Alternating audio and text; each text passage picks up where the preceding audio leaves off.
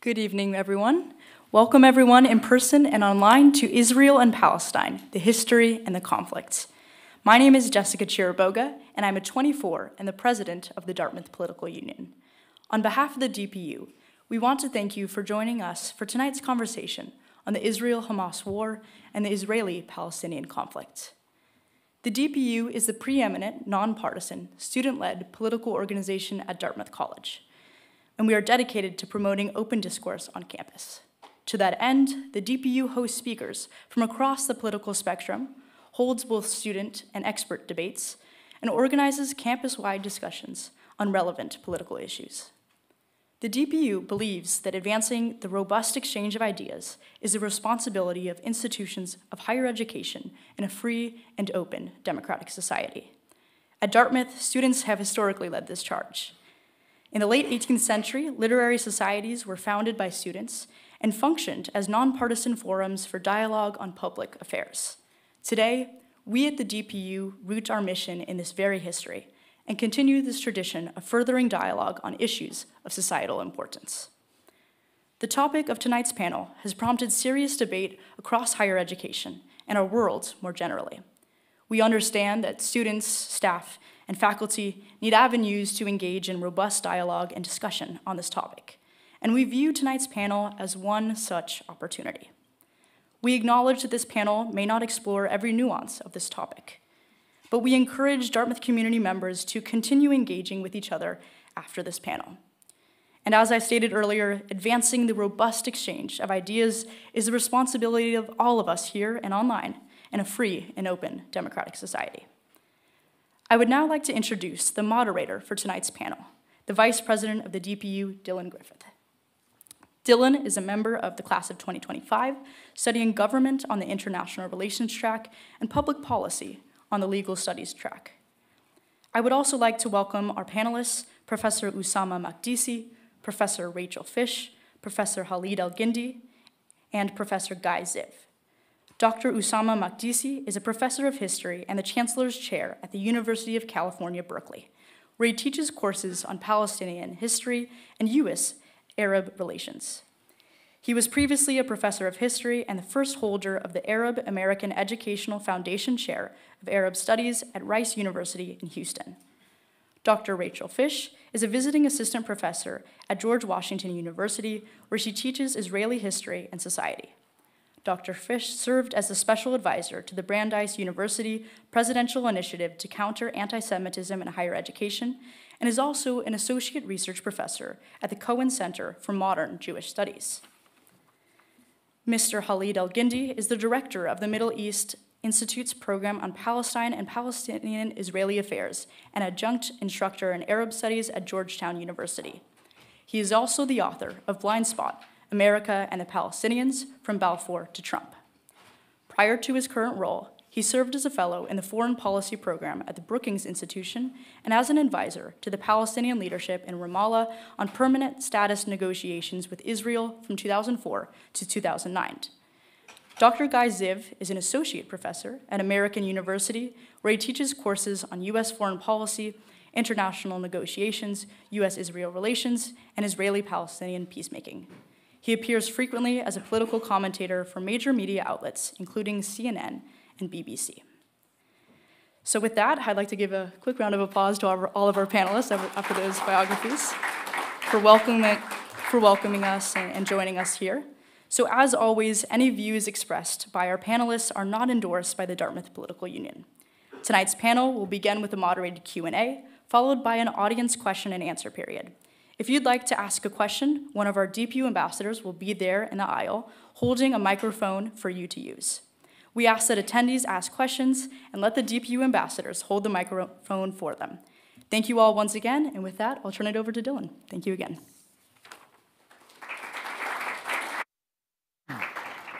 Thank you, Jess. I want to thank all of our panelists for joining us tonight here at the Dartmouth Political Union. Uh, my name is Dylan Griffith. I'm a third year here at Dartmouth, um, and I'm the vice president of the DPU. As Jess mentioned, I want to recognize that the content that we'll be soon discussing has generated intense emotional responses. Uh, our panel tonight is not going to be able to address every nuance on this issue, though we will do our best to address some of the driving forces behind it and try to come away with a better understanding of where this conflict can go from here. I want to emphasize that in an academic setting like this, it is our mission to try and disentangle the circumstances of the events unfolding. That being said, we have invited this group of panelists with a wide range of backgrounds and experiences to elicit a diverse array of responses and perspectives. We expect and even encourage respectful disagreement. As an institution of higher education, especially on a campus like Dartmouth, we have a responsibility to hold these conversations on issues of societal importance. So a little bit with about how tonight will work. I'll begin by asking each of the panelists a question individually to elicit some of their work backgrounds on these issues and give the audience a taste of their perspective. Then I hope we can transition into a more free-flowing conversation where I'll ask uh, questions more generally to the whole panel. Uh, after that, I will open up uh, questions to the audience, to whom I ask uh, that your questions just be asked with respect for the expertise of our guests. So with that, we will jump right into it. First up, Professor Makdisi. Uh, in your latest book, Age of Coexistence, The Ecumenical Frame and the Making of the Modern Arab World, you describe a long history of coexistence between Muslims, Christians, and Arab and Eastern Jews in Palestine before the British took control after World War I. What did coexistence look like before the British mandate, and how did it change with the arrival of Zionism? Oh, that's a, a minor question to, to open up. And uh, I mean, I wrote a book, so you want me to give an answer in a few, in a few minutes. But basically, it's good to be here. It's, thank you for, to DPU, and thank you to all the students uh, for, for being here. But in essence, the argument of the book was, was, was to sort of shed light on a history of coexistence that is extraordinary in the Ottoman Empire and before the Ottoman Empire in the Arab East, specifically, that goes back centuries and centuries. And the idea was to dispel this myth that people in the Middle East are only sectarian or only think in terms of religious identities, antagonistic religious identities, and to highlight the fact that there's a profound history, a variable history of coexistence that, depending on which time and period, changed. But the point is, there was a history and a culture of coexistence. The idea of Muslims and Christians and Jews living together was not controversial, wasn't even remarkable. It was just a fact of life. But again, historians will always tell you it depends which period, when, and how. The second part of your question is that all this changed um, in terms of Palestine um, obviously with the advent of, of Zionism, colonial Zionism in Palestine, in the sense that the Zionist project uh, that was developed in Europe and that originated in Europe and not among the Jewish indigenous communities of the Middle East or Palestine.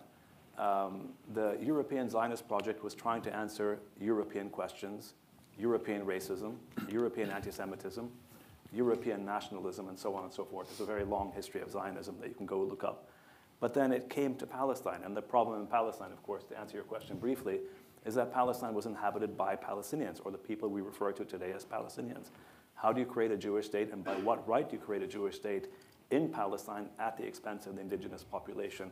Clearly, a Jewish state is not compatible with coexistence, um, insofar as it was forced on the native population and led eventually to the Nakba of 1948, that is to say, the ethnic cleansing of the Palestinians in 1948.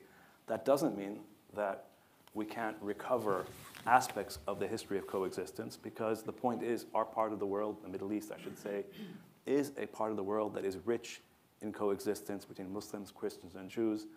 And assuming we can sort of resolve, um, or we're not here to resolve issues, but that we're here to acknowledge the fact that there's this history of coexistence that once the, the, uh, the, the, the, current sort of colonial project um, comes to, uh, changes into a project of, of equality for all peoples living in Palestine and Israel on the basis of secular equality, then we can recover these aspects of coexistence. That's a very short answer to a very big question. Thank you. Um, Professor Fish, in the United States, we've seen a dramatic increase in anti Semitic incidents since the October 7th attacks. You've written that both the political left and right perpetuate anti Semitism. Can you describe what the similarities and differences between the ways in which they employ anti Semitism are? Sure, also a big question and worthy of several books and articles. Uh, thank you, DPU. Thank you for having us today, and thank you to the panelists to being part of the conversation. In terms of anti Semitism, I think what I think is what is important to understand is that it often can be perceived as being only coming from one political proclivity.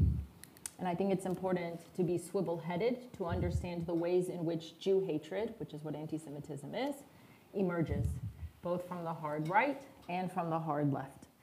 And we have seen that both in the context of Europe, we have seen it in the context of America, and we know that there are different ideological positions from those political identities. And for the American Jewish experience, there is a deeper understanding and recognition when it comes from the political hard right. Primarily because there's a history in this country that's associated also with the legacy of anti Semitism and with racism and the ways in which they intersect. There's an understanding, too, from the European experience, primarily with the rise of Nazism, in terms of how the Jew is identified as being the other, never being able to be whatever the society in which the Jew is living. So when you see, for example, in 2017 in Charlottesville, individuals walking around with tiki torches saying Jews will not replace us while carrying Confederate flags and also Nazi swastikas, Americans understand that. They get it. It is much harder for many Americans, let alone even also American Jews, to understand the ways in which Jew hatred emerges from the hard left. Much of that comes from the legacy of the history of the Soviet Union and the political framing of the way in which the Soviet Union utilized Jews and Zionism synonymously, interchangeably. The idea also, in terms of the ideology, is not the same. In this case, Jews are deemed to be white.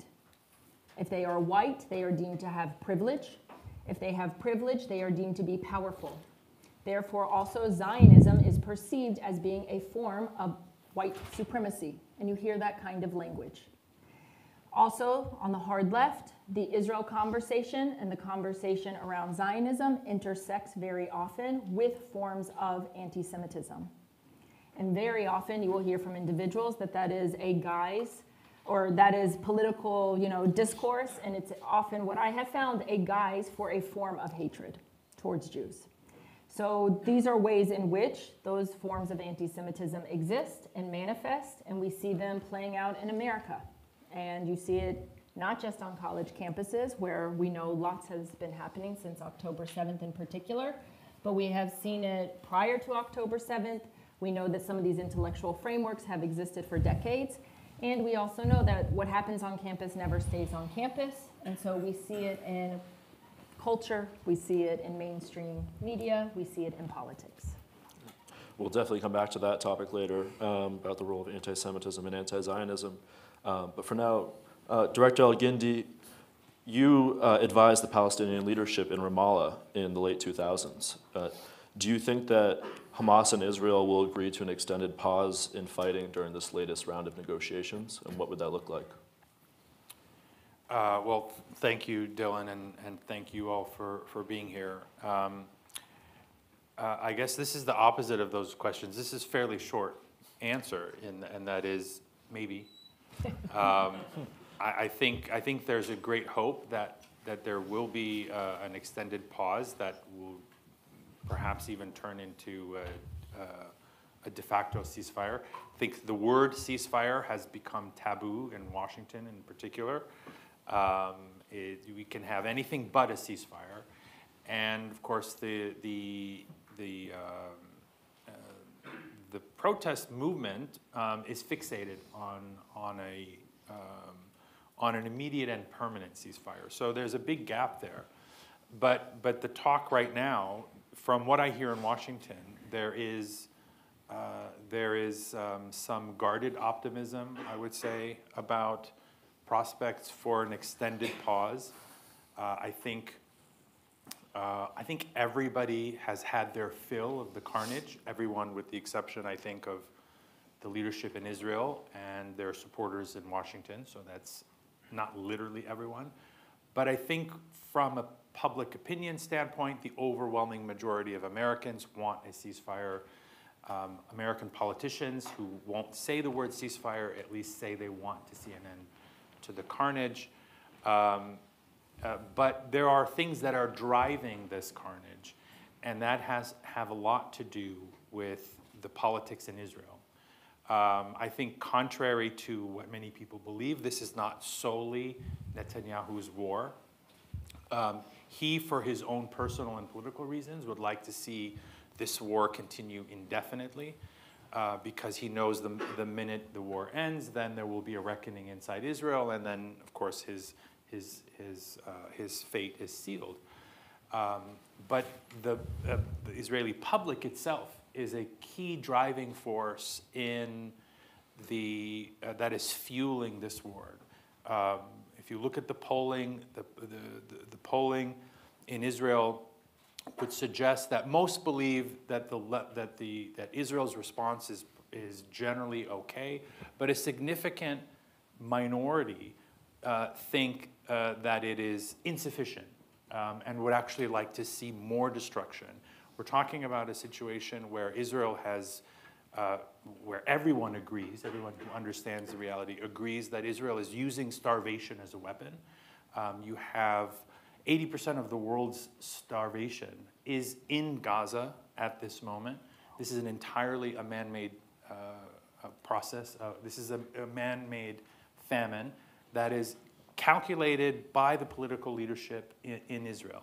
And it has the overwhelming support uh, of, of the Israeli public. And in fact, you see protests at the border crossing in which um, uh, dozens of of truckloads of humanitarian assistance is supposed to enter, but they're being prevented not by Israeli soldiers, but by Israeli ordinary citizens who, who don't want, who want to continue uh, that policy. Um, 30,000 or so Palestinians have been killed. Uh, and so really the, the forces that are driving this, uh, this war are Israeli public Prime Minister Netanyahu's own political future and ambitions, and American domestic politics. We'll definitely also be coming back to that. Um, Professor Ziv, uh, you just released a new book this year uh, titled Netanyahu versus the Generals The Battle for Israel's Future. Uh, in this book, you explore the tensions between Prime Minister Benjamin Netanyahu and the Israeli security establishment. Why do members of the security community distrust Netanyahu, and how has this distrust impacted Israel's actual security functions? So I completed the book and sent my final proofs on October 6th. and uh, within 12 hours, it was already uh, outdated. And uh, fortunately, I was able to uh, convince the publisher to allow me to do uh, an afterword. Um, but before I, I say anything, I just have to, to make one remark in response to, uh, to a couple of my panelists here who uh, have not brought up October 7th. Uh, this is the first time, I think, in this conversation that October 7th is, is brought up. And I think that's important because, yes, it's absolutely true that uh, you have an Israeli public, not all of whom support Netanyahu. In fact, most do not at this point who are in favor of uh, continuing uh, the fighting in Gaza. And the reason is not to starve Palestinians. Um, in fact, I think most support humanitarian assistance. I certainly do, and everyone I know certainly does. Uh, the reason behind Israel's support for the war is because Israel was attacked on October 7th. Uh, it was 50th uh, anniversary of the Yom Kippur War, which was also a surprise attack. And the October 7th assault from air, land, and, and sea was uh, the biggest uh, terrorist incident in Israel's history and the greatest, uh, the greatest tragedy that the Jewish people endured in a single day since the Holocaust. And the perpetrators not only celebrated the kidnapping of many Israelis, hundreds of Israelis, uh, all civilians, uh, most, mostly civilians, excuse me, some soldiers, um, massacred, um, massacred young people your age, maybe a little older, who were attending a rave. Uh, many of the people who were uh, brutally killed were babies. Entire families were taken hostage. Some of them were peace activists. There was uh, a very well known one, Vivian Lee, who would escort on her free time uh, Gazans uh, who were sick across the border to Israeli hospitals. Uh, there were other peace activists as well among the uh, people who were kidnapped or massacred. Entire kibbutzim in the, south, in the southern part of Israel bordering Gaza were destroyed. Uh, and those people are now uh, unable to go back to their homes as of today. And, uh, and Hamas has been saying time and again, if you listen to them, that uh, they're ready to do this again, that this is not a one time thing. So, of course, Israelis are united in, in, in favor of uh, getting rid of or, or dismantling, uh, crippling Hamas. And I think that's a perfectly reasonable thing to do. Now, I want to answer your, uh, your question, and I'll do it briefly because I took that time to, to respond, but I think that it was an important response. Um, the reason that the generals disagree so much with Netanyahu, and the reason I wrote this book, was because I thought it was kind of paradoxical that, on the one hand, Benjamin Netanyahu is, has been known over the years as Mr. Security, quote unquote. That's how much of the world has seen him, and certainly many Israelis uh, have seen him as such. Um, whereas uh, the security establishment has seen him as a bungler and uh, as somebody who's more of a liability, a security liability than an asset. I thought that was a very interesting uh, paradox to, to explore. Um, and uh, this is still all the more true today in the aftermath of the uh, October 7th uh, massacre that caught Israel off guard. You had some generals and uh, senior generals, as well as senior members of the intelligence community, who've taken responsibility and have said that they share some of the blame for what happened, and they are willing to launch internal investigations to find out what went wrong. Where did the, where did the, what were the intelligence failures here, and where did the IDF go wrong?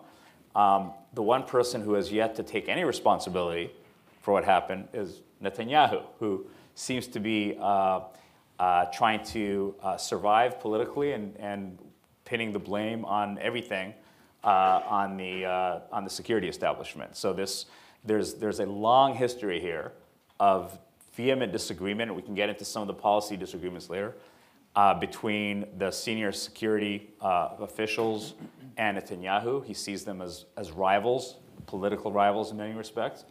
And, um, and I think that the events of the last year, both the democratic protests in Israel of 2023, the summer of 2023, as well as the uh, October 7th uh, massacre, uh, has pretty much shattered uh, that myth yeah. that Netanyahu is as Mr. Security.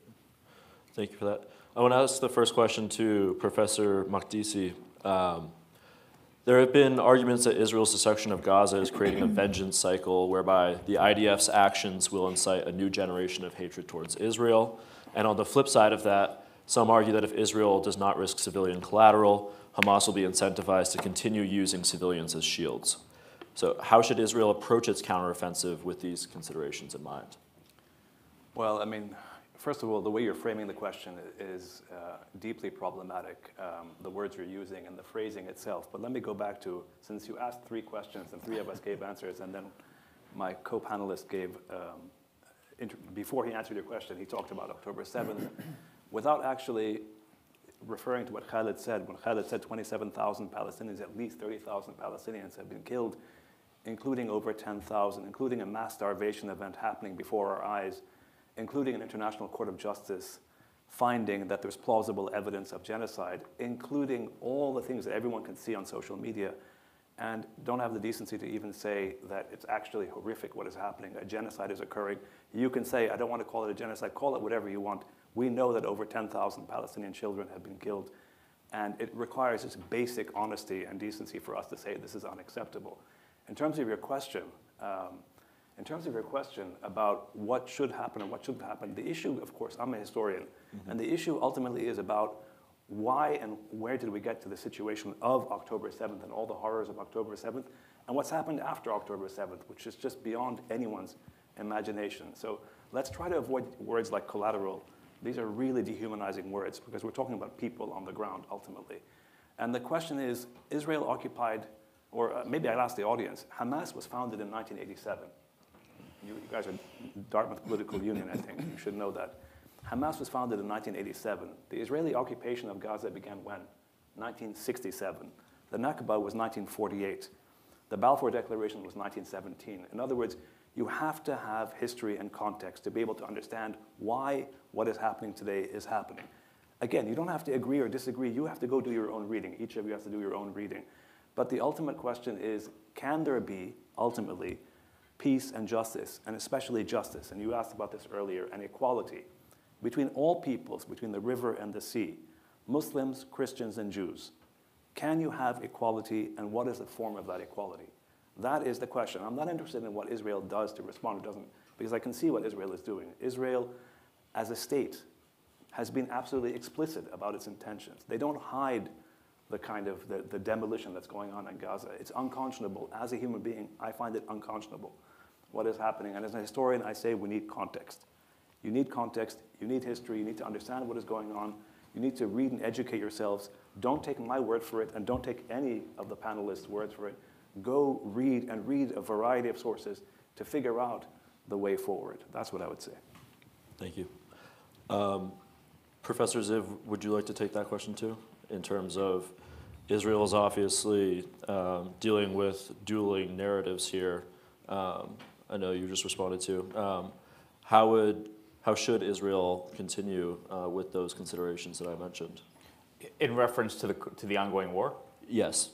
Well, look, I, I support a ceasefire too, but maybe not on the same terms that, uh, that some of my panelists support the ceasefire. I think that. What, what, what terms would you have? Well, I think Hamas needs to release the hostages. I mean, these are innocent people who've been held there for, uh, for hundreds of days. Mm-hmm. And I think there needs to be uh, an exit strategy for Hamas. I think there's no way to, to have a terrorist group next door uh, to, to Israel.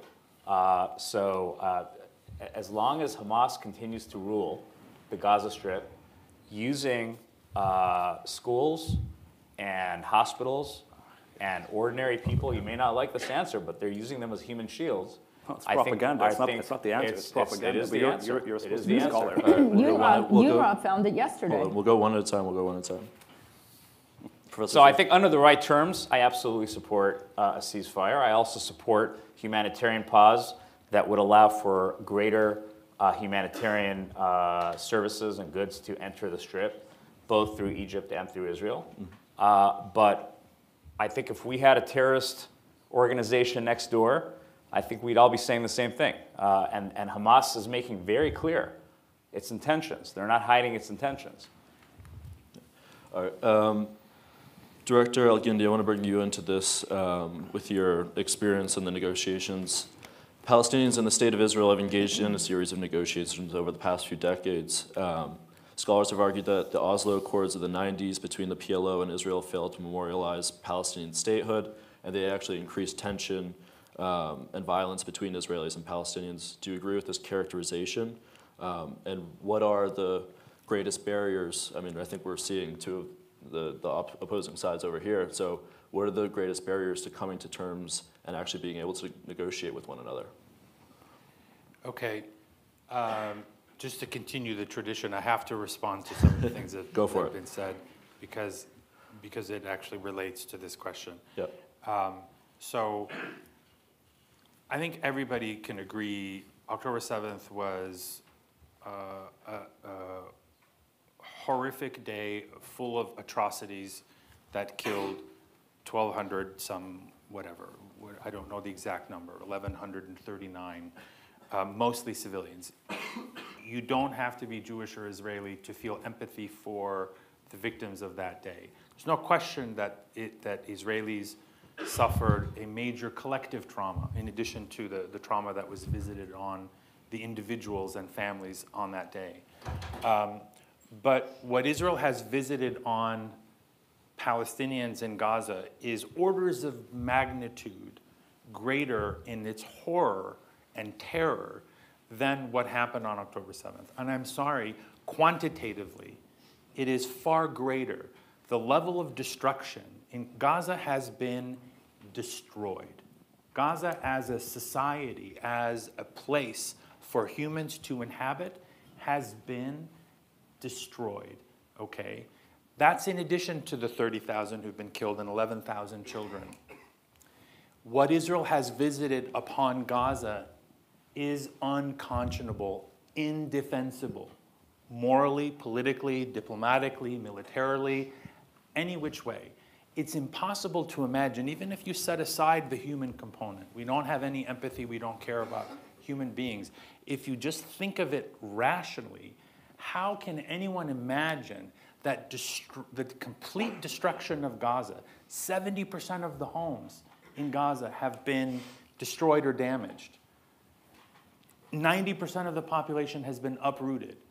How does anyone imagine that that level of destruction, death, and suffering is going to bring security to anyone, much less their neighbors in Israel? The fact people can disagree, people can say it doesn't meet the threshold of genocide, the fact that we're talking about genocide at all, the fact that it went to the International Court of Justice and they found a, a plausible basis that genocide could possibly be happening. Whether or not they find genocide doesn't matter. The fact that we're even in the realm talking about genocide should have been a wake up call, but instead it hasn't. And we're talking about collateral damage and we're talking about fighting terrorism. There are things more evil than terrorism. I think genocide is more evil than terrorism. Um, but it's not a competition, right? Because one side's trauma and death and suffering doesn't justify uh, the other.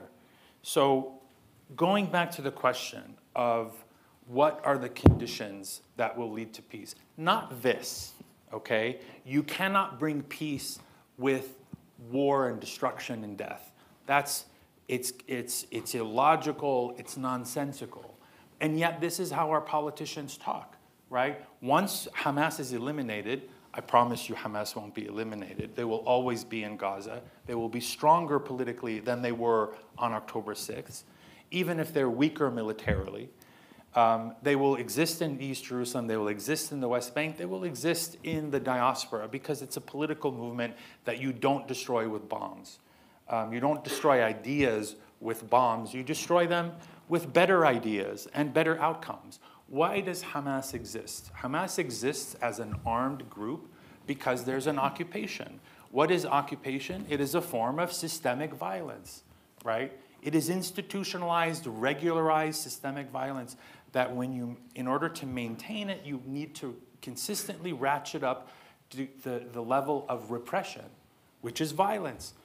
That's how you get a group like Hamas that says the only way to respond to the violence of the occupation is through, through more violence.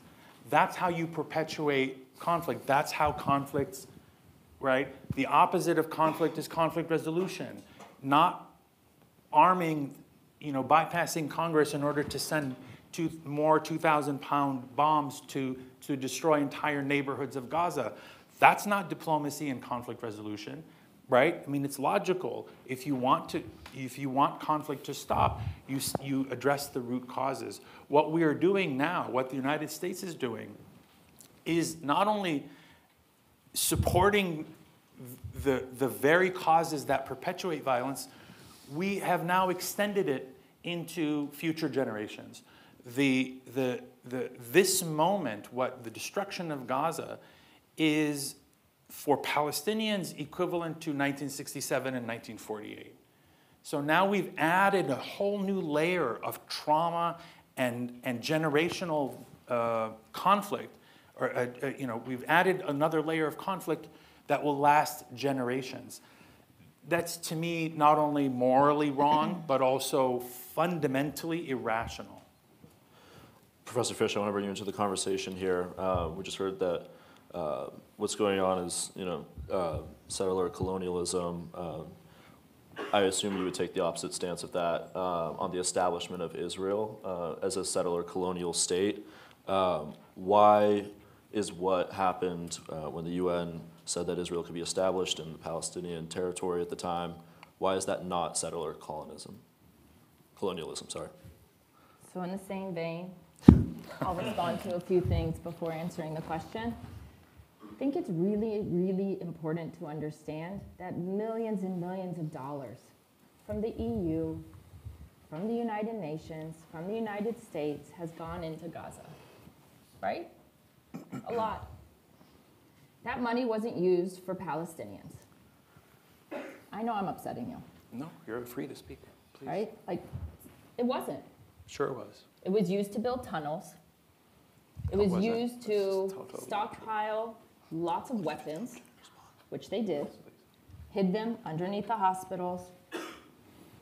United Nations employees from the Relief and Works Agency, the only UN agency that's to deal with only Palestinian refugees when we know there are refugee situations, and also has changed the definition of a refugee because it extends for multiple generations.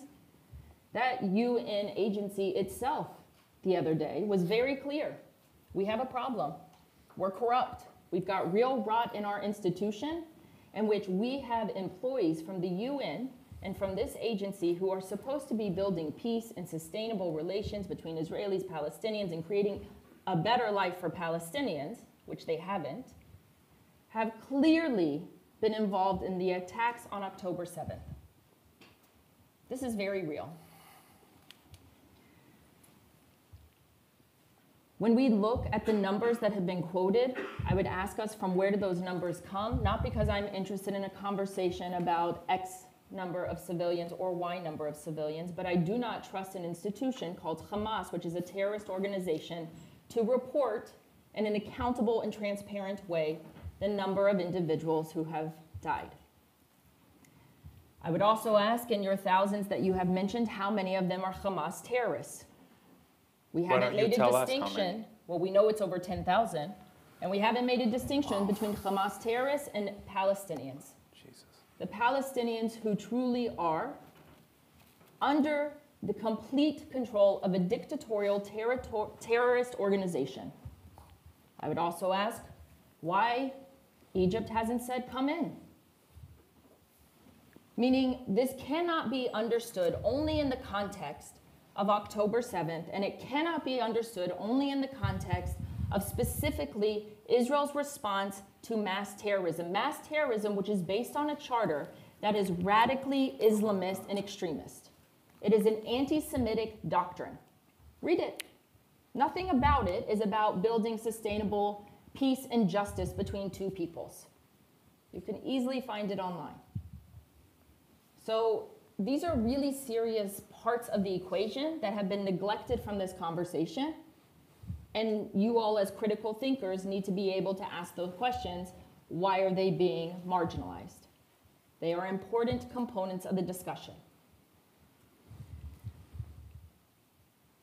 In terms of the question specifically related to colonialist settler, I think where I would start with that conversation is that if we were in a classroom and we had 13 weeks to teach about Zionism and to have a real intellectual discourse about understanding what colonialism means, what colonization means, what colonialist settler looks like, and how there are a variety of cases in the context of nationalist movements, we can have that conversation.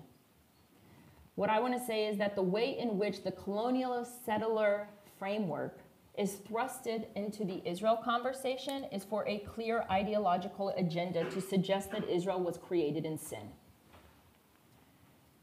No nation state is created in immaculate conception. Nobody here could name one of them. But to suggest that Israel is created in order to be able to be powerful and displace an indigenous and authentic native peoples has a particular agenda associated with it. And we have to unpack that agenda.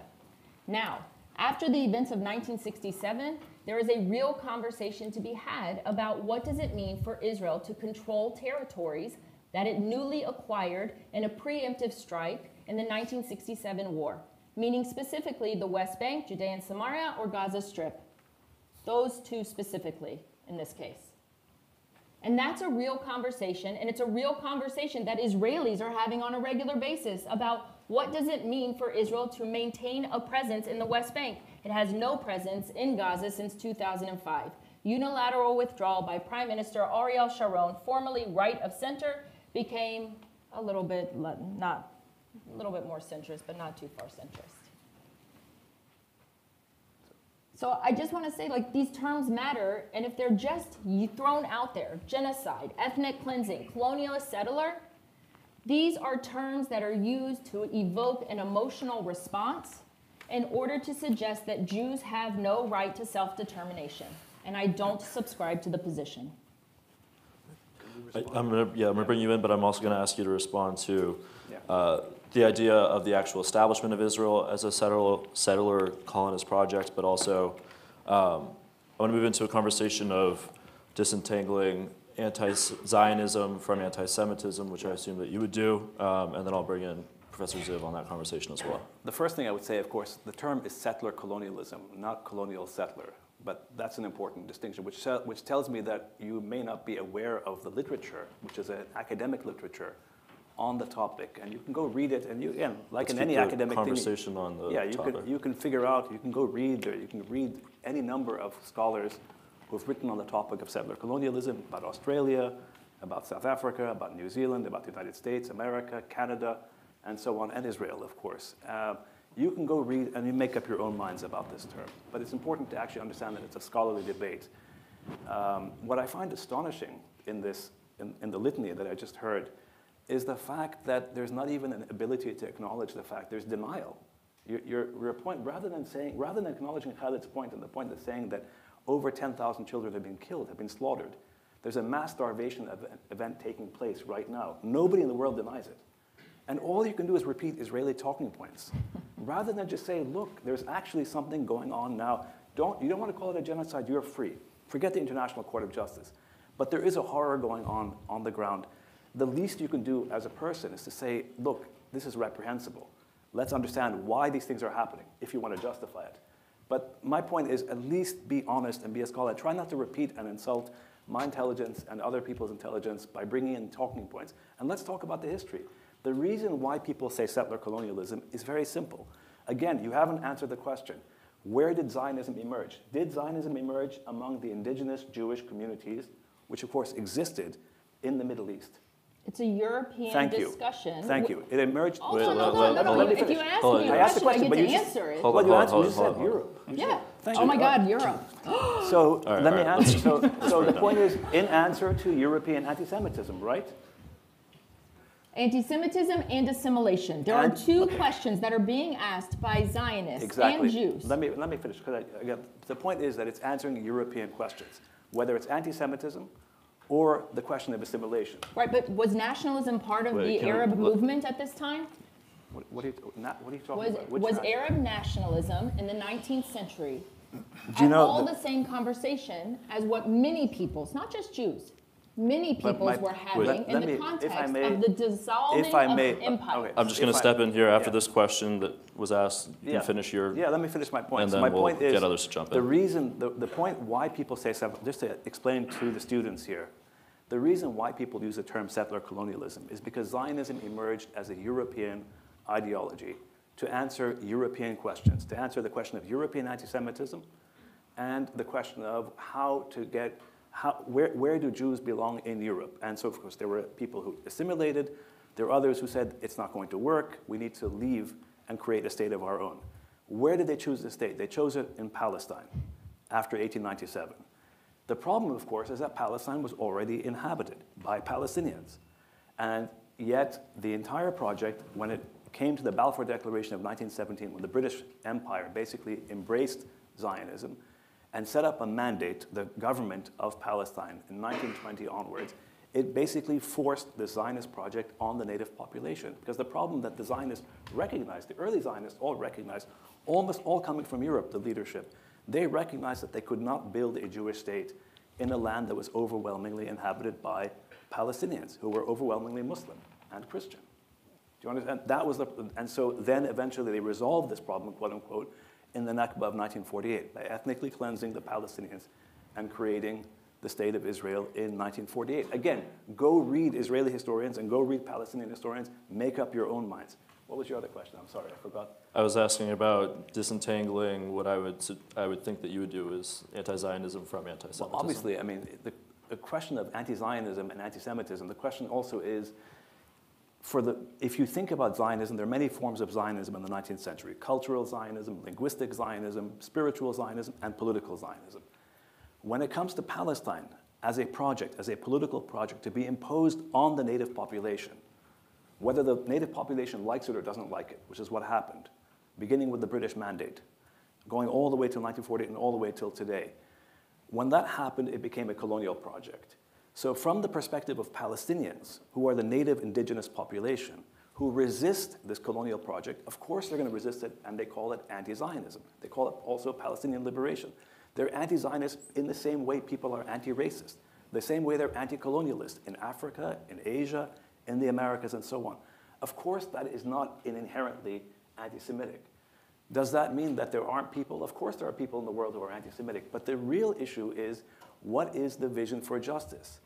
What is the vision for equality? We go back to this fundamental point that no advocate of Israel, as far here, because there are some there are some brilliant there are some brilliant Israeli individuals who are brave and who are honest and who tell the truth.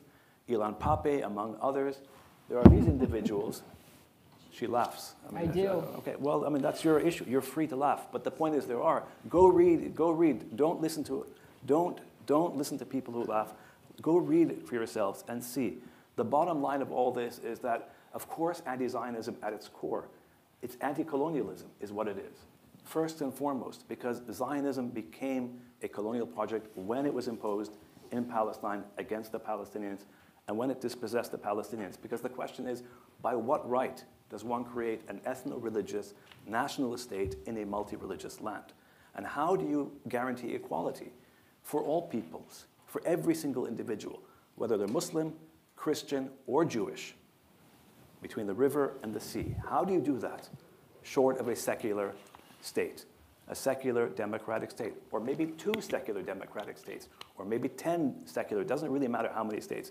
The question is, how do you do it short of actual equality? Secular equality, so it doesn't matter whether you're Jewish or Muslim or Christian. And that's a question that Zionists cannot ever answer because they're wedded to the idea of an ethno religious nationalist state in Palestine, and they, they, they, they don't want to admit that there's a fundamental problem. What about the Palestinians? Where do they belong? How do you get equality and justice for all peoples? Remember, we're saying for all peoples, for Muslims, for Christians, and for Jews, for all peoples. How do you do that short of a secular state? Professor Ziv, I want to bring you into this. Um, in disentangling anti Zionism and anti Semitism, um, the connection between the two of them, maybe. Would you like to respond? Sure. Well, first of all, I have to take exception to your uh, suggestion that uh, the students avoid reading people who laugh. I think uh, you should all read people who read everyone. To, yeah, I agree. Read everybody, read, read everyone, including we, people who are. We agree. Okay. Read everything. Uh, let's talk about Zionism and anti-Zionism. I think part of the problem of this discourse is that we, uh, you know, th- there are some nice buzzwords here about uh, settler colonialism and uh, some of the other buzzwords we've, we've heard here that are really questioning the legitimacy of Israel. And when we're talking about October 7th and its aftermath, which I think is the, is the topic that uh, we're here to discuss, we need to look a little bit further and ask ourselves what's next so whether there is a ceasefire, no ceasefire, what's going to happen after this war? And I, I can't speak on behalf of my fellow panelists, but I'd like to think we all would like this war to end sooner rather than later. Um, the question is what's next? And here we go to Hamas's popularity. And unfortunately, I think you're right. I think uh, you cannot destroy an idea. And Hamas is not going to be dismantled.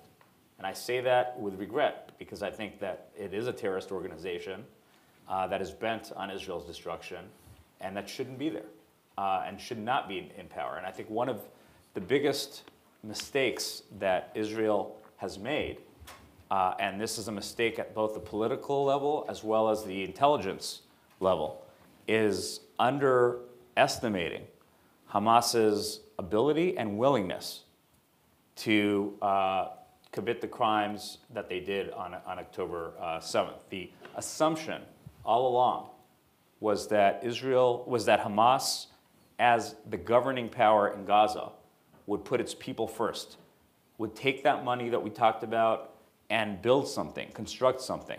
Sharon, who built uh, more settlements than any other politician, uh, who became prime minister, took the very painful step for him, uh, and politically painful as well, I might add, of withdrawing unilaterally from the Gaza Strip. Okay, not leaving a single settler and not leaving a single soldier. And the communities in southern Israel, uh, people your age, have grown up their entire lives with rockets uh, shelling their villages, their uh, towns, their cities, their kibbutzim, and their area. Um, so uh, Hamas took over in a coup uh, in 2007. And, uh, and so, yes, Israel imposed an embargo because it did not want those supplies to be used for weaponry. But it did not, in its wildest imagination, Israelis did not, in their wildest imagination, uh, think that something like this would happen. They knew that they were building tunnels, but they underestimated uh, the number of tunnels, the number of shafts that go into the tunnels. Uh, they thought that there would be something to the tune of 250 miles was the estimate even a few months ago.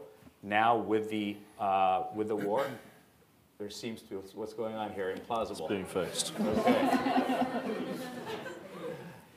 Uh, it is implausible. Um, the, uh, the estimates now are uh, closer to 400 miles. We're talking about what Israelis call a metro system in the, in the Gaza Strip. Uh, and instead of using all those funds that they've received uh, through Qatar and other international uh, uh organizations, uh, instead of building a country, building a state, uh, they built terror infrastructure. Some of these tunnels can, are big enough for cars to go through. they're as long, some of them are as long as three football fields. Uh, and we're talking about thousands of shafts that are under mosques schools, people's homes. Okay, so yes, they are absolutely using people as human shields. But the most important point here is not just that Hamas thinks of this as resistance, it's not that Hamas thinks of this as a resistance to Israeli occupation, it's how it defines Israeli occupation.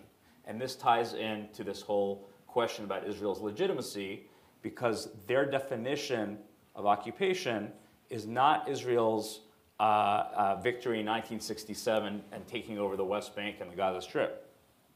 Their, their version of the occupation is the very existence, the very essence of Israel, which in their mind should not exist. I think that's actually a very important distinction here uh, because I happen to oppose the occupation too. And many Israelis I know oppose the occupation. And many members of Congress who support Israel oppose the occupation but they, but they, but, but these people who support the, who oppose the occupation and, and want to see a Palestinian state want to see a Palestinian state live side by side in peace with Israel, not replace Israel. So at this point, I mean, I could have spent this time talking about the fact that the Zionist, uh, the, the, Zionist project had many supporters, and it wasn't just Europe, and it wasn't just European Jews. Um, there's a reason that the UN uh, 10 years, 11 years after the British partition plan, came up with its own partition plan. And it was composed of uh, many different uh, uh, member states that reached the same conclusion, which was the only way that these two people can live together, inhabit this land, is by dividing it, is partitioning the land into two states. Um, and, uh, and so, th- and the UN voted in favor of Israel and so it was a UN vote that established the State of Israel. And, and, and, and the last thing I want to say. Are you addressing me or addressing somebody else? He's addressing me. Oh, he's addressing okay, I'm, I'm addressing him, yeah. yeah. Right. Uh, the last thing I wanted to say here is I could have also talked about the fact that there's been Jewish presence there from time immemorial. Uh, it's not like there were not Jews there before the Zionists uh, began to, uh, to bring uh, immigrants uh, from Eastern Europe there. So th- there's a lot we can unpack here, but, but to me, the, the biggest point, the most important point is what do we do about the fact that Israel is there, whether you like it or not? Okay? Are we going to argue about its legitimacy forever? Or are we going to recognize that there's a state there? Let's create another state. Let's create a Palestinian state. Let's give them the same rights and the same sovereignty that Israelis would like to enjoy. Unfortunately, I'm out of time as the moderator, but we're going to move to audience Q&A, and I'd like you guys to address kind of where we go from here uh, through the audience Q&A. Uh, but the audience, if you want to line up in the aisle over here, we're going to have one of the DPU's ambassadors hold a microphone. Um, and I just ask that you let them hold the microphone. What's that? I've been making a list of all the things I wanted to respond. I would like to address my question to Professor Makdisi and Professor Elgindy. Um, if you're advising a state, let's just hypothetical, that has just lost a thousand of its citizens, many of them children, and not just killed in battle, but with the kind of viciousness, the kind of sadistic, incredible viciousness, and nobody even mentioned violence against women, which was incredible. The only parallel I can think of of that kind of viciousness is, is, is behavior of Nazis during World War II. What would you advise that government, since you're saying that going into Gaza by Israel was a mistake? Should Israel have said, sorry, we're not going to do anything? It's a liberation movement. They have every right to do this, and we're just going to sit back and watch this blood flowing. I'm just curious, what, how would you, what would you suggest they should do? So Israel gets attacked. What should their response reasonably be? I get this question all the time. Um, it's first of all, from a from a technical legal standpoint, Israel doesn't have the right of self-defense if the threat is coming from territory that it occupies. Self-defense has to do with you're attacked by another state. You have the right to defend yourself as a state. But if you are the occupier, you are already you have over you have overriding security responsibility for both your population and the occupied population. So self-defense in the strict legal sense doesn't apply. Well, let's just set that aside. Israel clearly had to respond to an attack on its citizens. Um, the, what, what could have happened is a more targeted attack on Hamas, on Hamas's uh, weapons, on Hamas's tunnels, but it would have required something other than carpet bombing Gaza, right? It would have required going in on the ground and focusing on ground operations, special operations, those kinds of things in which Israeli soldiers take on greater risk, right? So the calculation of Israeli military and political leaders was to, to minimize our risk, we're going to bomb Gaza. We're going to destroy civilian infrastructure, which is a war crime. We're going to deny food and water and medicine, which is a, a, war crime. So we're going to do all of these things to minimize our risk and in the process maximize the risk to, to Palestinian civilians. So if the only thing that we can think of is a response is bomb and kill everything and starve people, well, I'm sorry, that, then that's, it's not as if it's either I have no right to defend myself or I have to commit genocide. I mean, there's a whole lot of options in between that don't involve the complete annihilation of Gaza. So I'm sorry, it's not a, it's not a question like I'm sure military experts, you can bring them and say, what would a targeted response be to what happened on October 7th? But what Israel has done is not a targeted response. This isn't collateral damage. They are deliberately destroying apartment buildings. They are gleefully blowing up universities. Have you seen the TikTok videos? They are broadcasting their own war crimes with no self awareness at all. Have you seen the videos of the soldiers happily blowing up people's homes, mocking the home, the, the, the people who, who, who they've killed? I mean, it's, it, it, this is the kind of psychology that that leads to the kinds of war crimes that we're seeing on a massive, massive scale.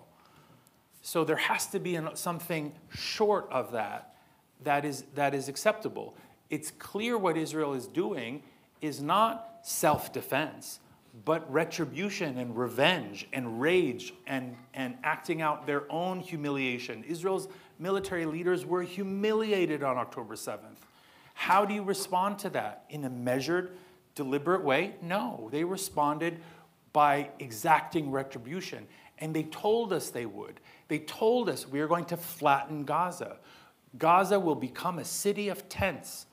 We are going to, it will become a deserted island. They told us exactly what they intended to do, and then they did it. So we can't be surprised or be in denial. No, no, they didn't do those things. They told us they were going to do exactly what they did. Yeah, I mean, I agree with everything that Khaled said. I mean, it's sort of open and go again, go, go, go read the history. And everything Khaled said is absolutely correct. And the question is also, what was Gaza before October 7th? Because history does not begin on October 7th. And any, any scholar here should be able to tell you that honestly. History did not start on October 7th. Gaza, you said, was under blockade. It's not just a blockade, it was under a siege for, for the entire life of my daughter. Gaza has been, who's 17, Gaza has been under siege long before October 7th. Israel controlled the airspace, Israel controlled the, the sea access, Israel controlled all the borders except Rafah. And even Rafah, goods are not allowed in without Israelis checking. So the idea of saying, why do, look at the, the prevarication, the denialism. The amazing thing is how much denialism I've heard by two of my colleagues, two of my panelists here, who can't acknowledge, who simply can't even acknowledge the extraordinary imbalance of power, the colonization. They just keep telling you Gaza and human shields and this, rather than actually telling you, go study, go read about Gaza. Again, don't take our words for it. Go read about Gaza. Go read Sarah Roy. Go read international jurists. Go find out for yourselves what the situation of Gaza was like before October 7th, let alone now, where it's been pulverized before your very eyes on every single social media platform. So the gentleman who asked that question, what should Israel do? I mean, has it ever occurred to you to reverse the question a little bit and say, well, Palestinians have been under Israeli violence and colonialism for decades. Does that justify October 7th? You're going to see, presumably, no, right? No, what I'm saying, what, I, what I'm saying to you precisely is what I'm saying to you is understand that you're saying, well, in response to October 7th, the Israelis should be able to do everything they did. And the answer we're giving you is understand, first of all, the history and the context, and second of all, understand that the Palestinians could use that same logic that you're using. In fact, Hamas uses that same exact logic that you're using, saying, we are representing an aggrieved and suffered and colonized people. Does that mean they're right? Does that mean they didn't commit war crimes? They did commit war crimes. And the people who committed war crimes should be tried. But of course, a genocidal Israel, what Israel has done is a genocide, and everyone can see that. Go look at the International Court of Justice. Do not take our words. I say to you as students, forget the older people, go with the students. Go read and above all, go see the, see, listen to the Israelis if you want in the International Court of Justice, their presentation. Listen to South Africa's. Be objective, and then you make up your own minds. Next question. Hi, uh, first of all, thanks so much for coming here. Uh, I've been reading history on uh, Palestine and Gaza issue, uh, the Israel and Palestinian issue. I've also looked into a lot of books and current events, but I learned one thing. As a victim of uh, war for myself, I mourned the loss of human lives on October 7, and I mourn the continued loss of Palestinian lives since October 7. Uh, no human life is more or less than other human lives, and we do not need a college degree or a nice suit to understand or acknowledge this fact. My first question is Professor from Professor uh, Fish and Ziv, either one can answer. Reflecting on the previous wars, mainly the U.S. wars against insurgency, for instance, in Iraq, which resulted in development of ISIS, and in Afghanistan, where a final deal was concluded with the same group they fought for, for 20 years. Is the current strategy to eliminate Hamas successful, or is it helping Hamas and information of similar groups? Considering the people filled with grievances and the number of civilian victims in Gaza, is war the only option? My second question and a follow-up is Professor Khaled and Professor Ussama. Is it too soon or too late for the US and Biden administration to adopt a different attitude towards Netanyahu government in the war considering the October 7 attack and the number of civilian victims in Gaza? Again, is war the only option? Thank you so much.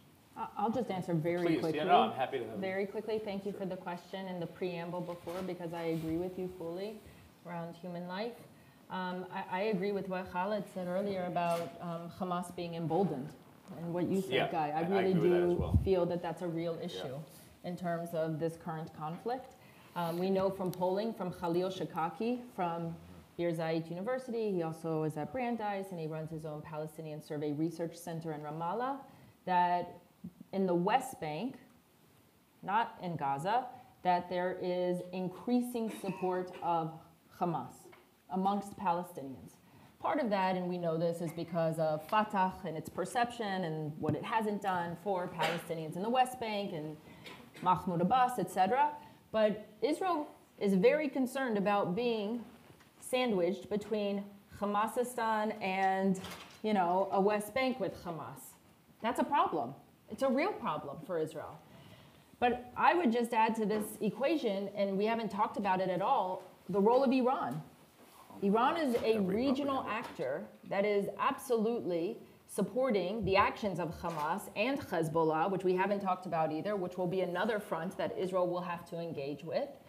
And the role of Iran, the role of Russia, because this is a regional conflict. It is not just between Israel and Hamas in Gaza. It is much bigger than that.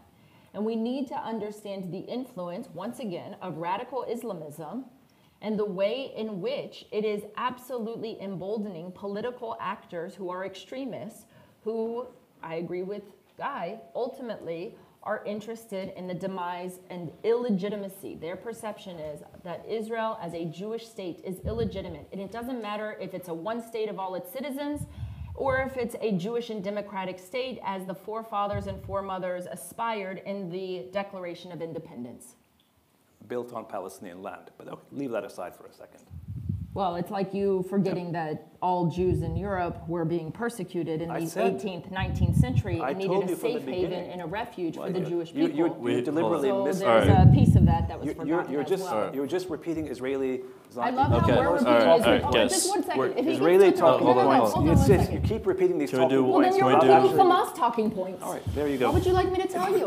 All right. Well, So clearly there's disagreement. That's all right. You should learn some Let's not level So attack. you. That is very patronizing. All right. No, I'm actually, I'm actually, I mean, Guys, can we honestly, stop? Can we have a excuse me? respectful Yeah, yeah, academic for sure. discussion here? For If sure. you're all academics, I think we should be here for, sure. one Yeah, but he's quick ideal. to throw the. Sure, we're all here to engage with different perspectives, and let's go to the next Can audience. I just clip. add one Yeah, line though to, to Ra- Rachel's Quickly, comments? please. Uh, so, so I agree with, with, uh, with, with what you said. I would, I would also add that when it comes to Hamas, uh, Hamas is the genocidal actor here. Oh my Uh, God, this is incredible. See?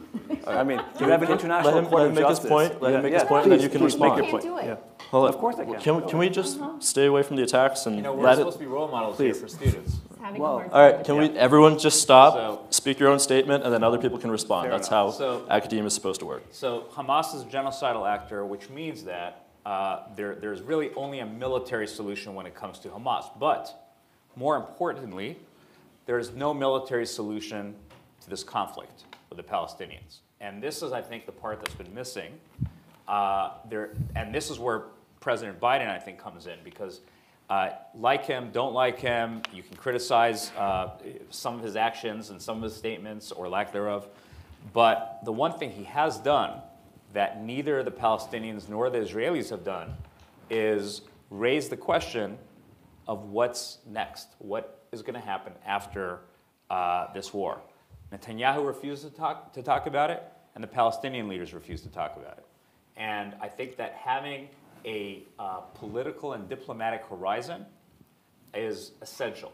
Um, and, it's, and, and, and the two-state solution is it.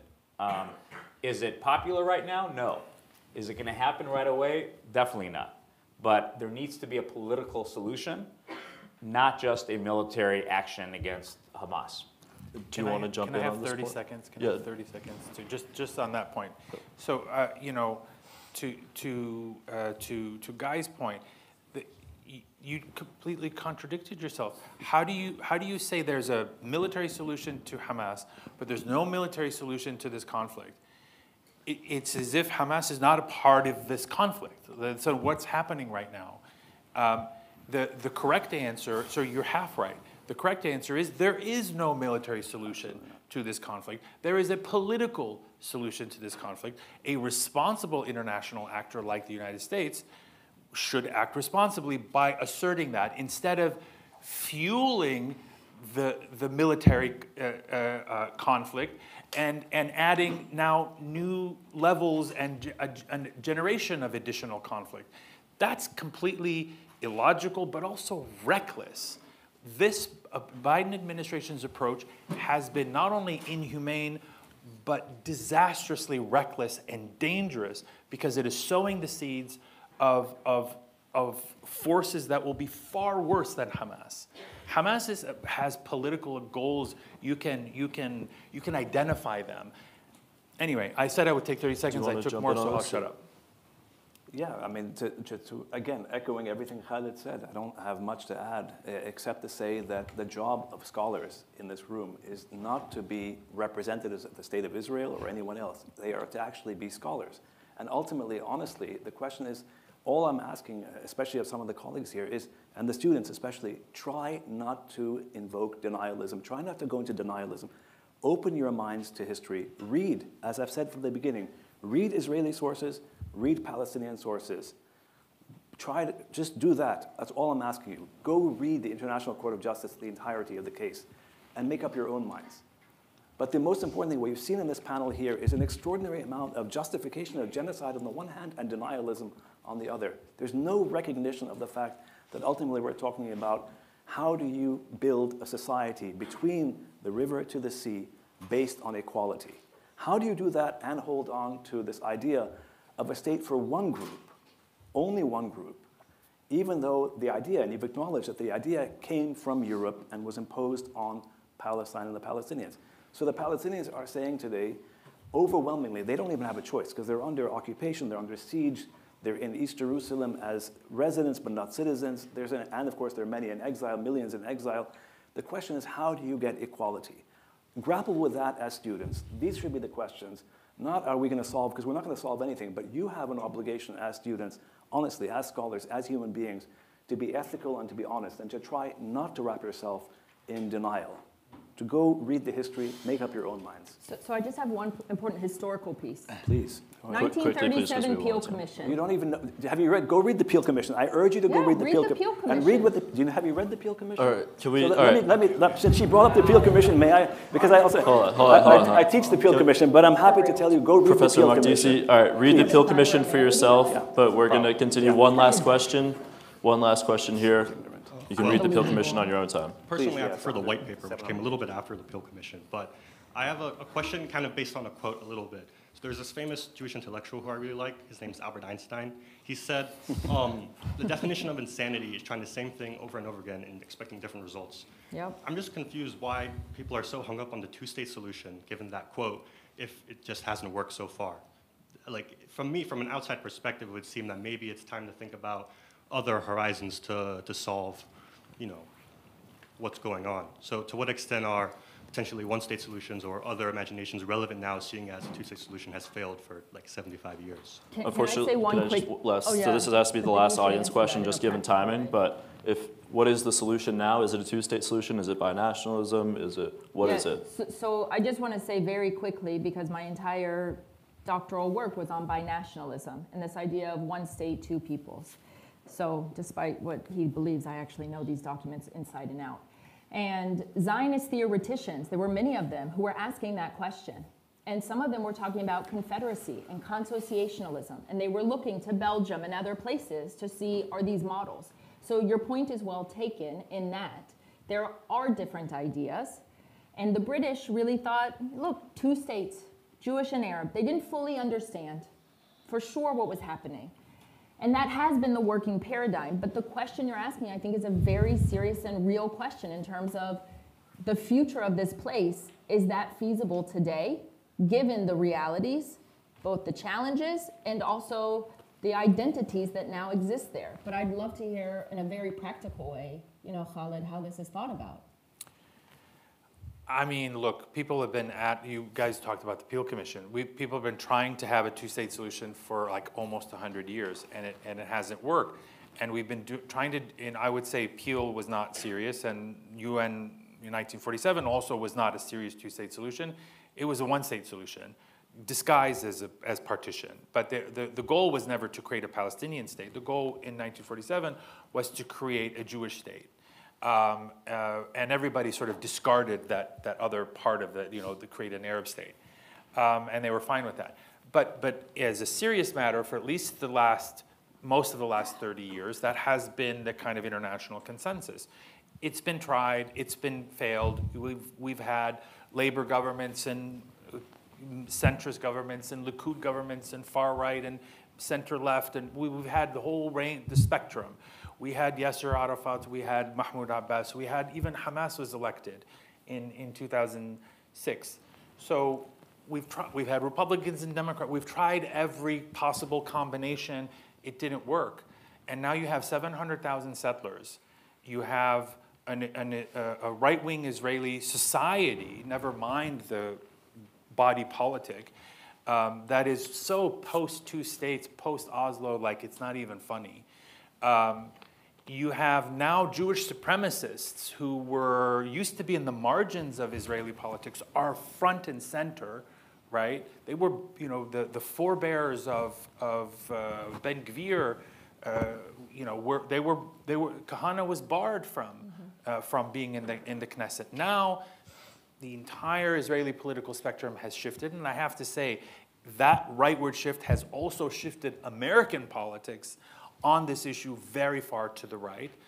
Um, and so now, I'm, I'm sorry to say, two-state solution is not, is not achievable anymore. It's not achievable politically, it's not achievable physically, it's not achievable economically. Who's going to pay for the at least two to 300,000 of the 700,000 settlers who have to be removed. Even if you imagine there's some kind of land swap and you can get creative with the borders, and how do you how do you do who's like who who's going to pay for that? And then how do you sell that to an Israeli public? Uprooting two you know a quarter million people, it's just not it's not achievable. It's not it's not doable. Um, I think the only thing that's possible now is how do you make the situation less awful based on principles of equality. Um, people can have their national narratives, they can have their national, like, you know, uh, Palestinians and uh, Palestinian Arabs and Israeli Jews can live as neighbors in a place like Haifa, um, not so much in Jerusalem because of the inequality, because of the asymmetry, because of one group dominates another.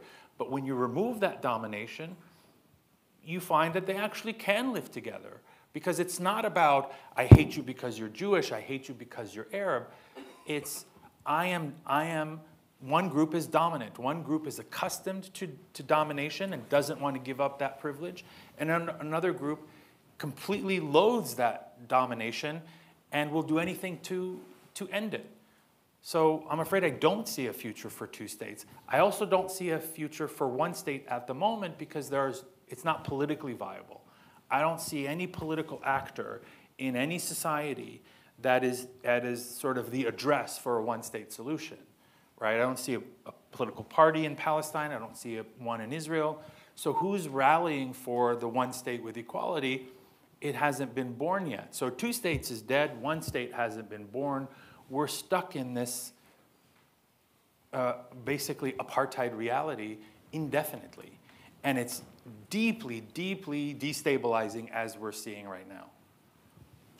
I'll bring you two in on this, Maybe and then unfortunately we have to close out. I, I, I, agree with everything Khaled said. I'm not going to add. I totally so I'll just add a few words here. I know, I know we're trying to wrap up. Uh, first, the I've asked uh, many uh, uh ex-generals what they think about this, uh, as well as former heads of Mossad, Mossad and, and Shin Bet uh, intelligence agencies when I was in the process of writing my, my new my new book and the vast majority believe that, this is a, uh, that the two-state solution is the only solution. Uh, and that uh, when I asked them, well, what about the argument that it's dead? What about the argument that there's so many settlements it would be impossible to create a contiguous Palestinian state, which I think is a good question. Mm-hmm. Um, the answer uh, that I'm given is it's really a question of political will at the end of the day. And uh, there's a reason that many of these uh, former top Israeli security officials have formed an organization called Commanders for Israeli Security, which promotes this idea of a two state solution. These are Zionists who support the state of Israel, but they believe that in order to make Israel more secure and in order to fulfill the Zionist dream of a Jewish and a democratic state, which Israel still is, uh, there needs to be a Palestinian state. And many of these people also support a Palestinian state for humanitarian reasons for the Palestinians. Uh, but to answer the, the, the, the, Einstein quote, uh, which uh, is a great quote, um, I want to just bring us back, uh, and this would be maybe a good note to end on as well, the uh, 50 years ago with uh, the Yom Kippur War. Anwar Sadat, president of Egypt, launched this war to regain the territories that he and the Syrians had lost in the 67 war. And um, from the Israelis' perspective, this is a man of war and somebody that they would never be able to trust. And when he uh, decided to uh, go ahead and make peace with Israel, this was considered much more insane than this idea of a two state solution that we're talking about today, despite all the failures. And he announces four years after the surprise attack um, that he's going to visit Jerusalem and address the Israeli people in the Knesset. And uh, an Israeli pollster did a survey in Israel asking them, would you support returning the Sinai Peninsula uh, in exchange for peace with Egypt? The vast majority of Israelis, something like uh, three-fourths, said no. I mean, this was, this was the leader who attacked Israel uh, four years earlier. Many of them lost loved ones in the surprise attack in this war. And um, after his uh, very uh, statesmanship-like uh, speech where he talked about wanting peace and he addressed Israeli people head on and said no more war, this is a time of peace, he goes back to uh, Cairo and the same pollster conducts a new survey and finds that now, days later, three-fourths of the Israeli public support uh, Land for Peace. And I think this is, you know, uh, a very, very important and poignant uh, kind of moment, which shows you that um, psychology matters and that leaders matter. And I think that right now, uh, everyone is suffering from poor leadership. Uh, and, and I think that uh, it is not impossible to envision a day where leaders will take the courage, will have the courage to take political risks uh, to make peace. I think it's absolutely possible, and only, there's only one solution that's going to answer Israel's uh, security needs and Palestinians' uh, desire for uh, self-determination, and that is a two-state solution. But why though? I think we have to end there. That's it. If we've learned anything from this panel, is you have to go read and decide for yourself. So I want to thank Professor Gagi Ziv, Professor Ussama Makdisi, Rachel Fish, and Khaled Elgindy. Thank you so much for coming tonight, and have a good evening.